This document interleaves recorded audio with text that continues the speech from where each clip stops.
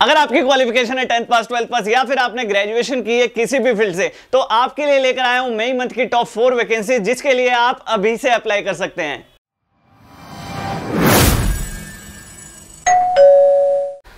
Hello students my name is Khan and welcome to my YouTube channel Khan टिक्सर्स और discuss करते हैं मई month की टॉप फोर वैकेंसीज और पहले नंबर पर जो वैकेंसी आती है दोस्तों वो है सीडीएस सेकंड एग्ज़ाम नेम की बात कर रहा हूँ मैं. सीडीएस सेकंड का एग्ज़ाम होना है जिसकी टोटल वैकेंसीज 459 है. इस पर डिटेल वीडियो में ऑलरेडी दोस्तों बना चुका हूँ आपके लिए. अगर नहीं देखी हो तो जाकर देख सकते हो. इसमें क्वालिफिकेशन ग्रेजुएट्स और इंजीनियर्स मांगी गई है. डिपेंड ऑन पोस्ट किसी में ग्रेजुएशन मांगी गई है और किसी में आपकी बीटेक मांगी गई है.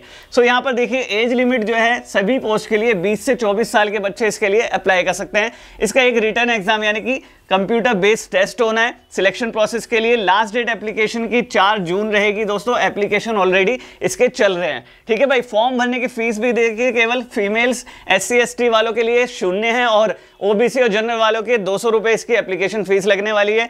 लिंक के लिए आप इसके ऑफिशियल वेबसाइट यूपीएससी पर विज़िट कर सकते हैं। सेकंड नंबर पर देखिए कौन सी वैकेंसीज आती हैं। ये है हमारी एनडीए सेकंड दोस्तों। एनडीए के आप जानते हैं, दो बार होते हैं साल में तो ये एनडीए सेकंड एग्ज़ाम होना है आपका। इसकी भी रजिस्ट्रेशन शुरू हो चुके हैं। यहाँ पर देखिए टोटल वैकेंसीज जो है वो 404 है। आर्मी 208 नेवी 42 एयरफोर्स 120 और आईएनए नवल एकेडमी 34 वैकेंसीज हैं। ट्वेल्थ पास इसमें मांगा गया है।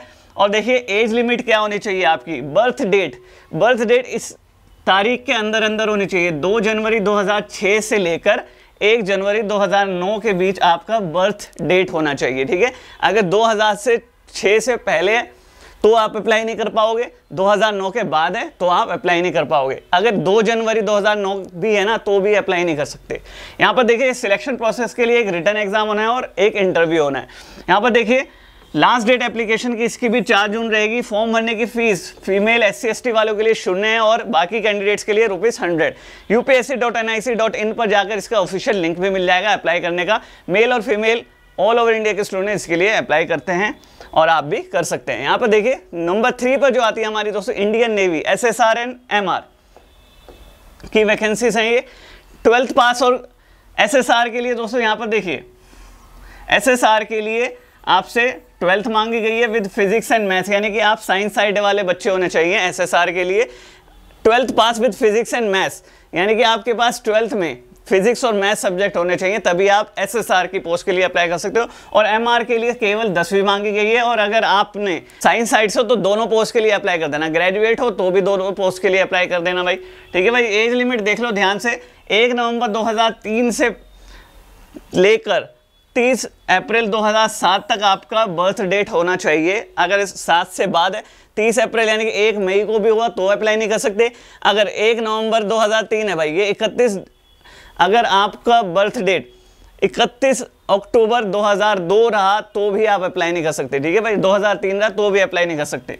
सो सिलेक्शन प्रोसेस के लिए रिटर्न एग्ज़ाम एंड इंटरव्यू होना है 27 मई 2024 को इसकी लास्ट डेट है अप्लाई करने की दोस्तों, इसी महीने लास्ट डेट है और आने ही वाली है। एप्लीकेशन फ़ीस साढ़े पाँच सौ रुपये रहेगी और यहाँ पर देखिए website Agniveer navy dot C D A C dot in पर जाकर आप इसके लिए अप्लाई कर सकते हैं। मेल हो चाहे फीमेल हो इंडियन कैंडिडेट ठीक है भाई? तो नंबर चार पर जो आती है दोस्तों, जिसका बेसब्री से हर बच्चा इंतज़ार कर रहा है और टीचर्स भी इंतज़ार कर रहे हैं, क्योंकि इसके ऑफिशियल कैलेंडर में अनाउंस हो चुका था। कि इसकी जो डेट्स हैं दोस्तों रजिस्ट्रेशन है, सात मई से शुरू हो जाएँगे, लेकिन सात मई से शुरू नहीं हुए। वो पोस्टपोन पे पोस्टपोन हो रहे हैं। मैं बात कर रहा हूँ S S C M T S हवलदार के लिए, जिसमें माना जा रहा है कि पाँच हज़ार से ज़्यादा वैकेंसीज दोस्तों अनाउंस होंगी। केवल इसमें दसवीं पास मांगी गई है एज मांगी गई है जनरल वालों के लिए अट्ठारह से पच्चीस साल।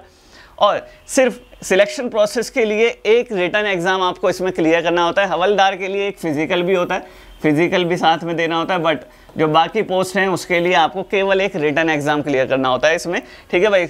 माना जा रहा है भाई इस हफ़्ते मतलब मई में इसका रजिस्ट्रेशन शुरू हो जाएँगे पक्का, इसमें कोई दो राय नहीं है। ठीक है भाई? तो इसकी तैयारी करके रखें। फ़ीस केवल शून्य है S C S T O B C females के लिए और ओ बी सी और जनरल वालों के लिए सौ रुपये इसकी registration fees S S C dot N I C dot in पर जाकर इसका इसके लिए आप अप्लाई कर सकेंगे। रेगुलर विज़िट करते रहो जब भी फॉर्म निकल आए तुरंत इसके लिए अप्लाई कर देना। बाकी मैं अपने चैनल पर इन्फॉर्म कर ही दूँगा आपको। मेल और फीमेल इंडियन कैंडिडेट सब अप्लाई कर सकते हैं इस पोस्ट के लिए ठीक है भाई?